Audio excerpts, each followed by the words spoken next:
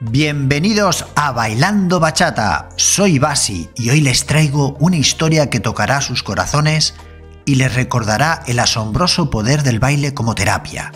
Esta es la historia de Pedro, un médico que no solo fue uno de los mejores cirujanos de trasplantes infantiles del mundo, sino que también encontró en el baile una forma única de lidiar con el estrés y mantenerse enfocado en su trabajo.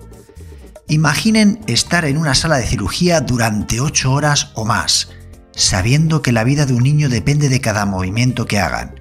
Pedro vivió esto en su carrera como cirujano de trasplantes infantiles. A menudo tenía que realizar varias operaciones en un solo día.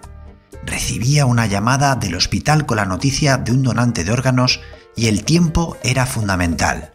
La presión era inmensa y cada decisión que tomaba podría significar la diferencia entre la vida y la muerte.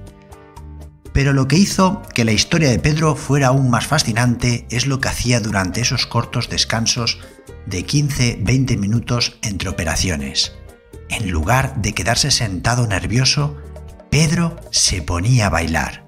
Bailaba tango con una compañera enfermera según él, esto le relajaba y le permitía desconectar durante esos breves intervalos. Su mente tenía que mantenerse alerta y enfocada, y el baile le ayudaba a liberar el estrés acumulado. La historia de Pedro nos muestra el increíble poder terapéutico del baile.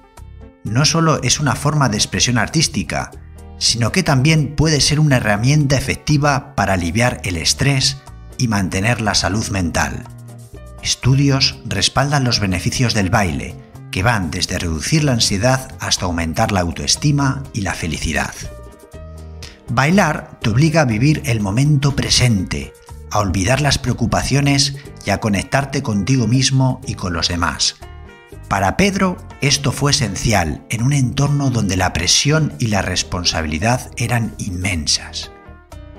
Reflexionando sobre la historia de Pedro, podemos entender mejor cómo nuestras pasiones y hobbies pueden ser más que simples actividades de ocio.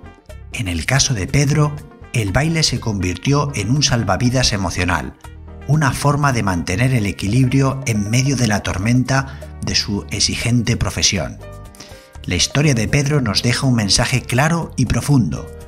Todos enfrentamos situaciones estresantes en la vida, y es esencial encontrar formas saludables de lidiar con ellas. El baile puede ser una de esas formas.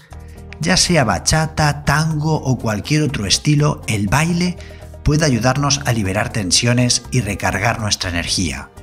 Puede ser nuestra vía de escape, nuestro momento de desconexión en un mundo lleno de preocupaciones. Te animo a considerar el baile como una opción para cuidar tu bienestar mental, puede que descubras que como Pedro, el baile te ayuda a mantenerte fuerte y enfocado en los momentos más desafiantes de la vida. Gracias por unirte a este episodio de Bailando Bachata. Espero que la historia de Pedro haya tocado sus corazones y les haya recordado la importancia de encontrar formas de cuidar de sí mismos.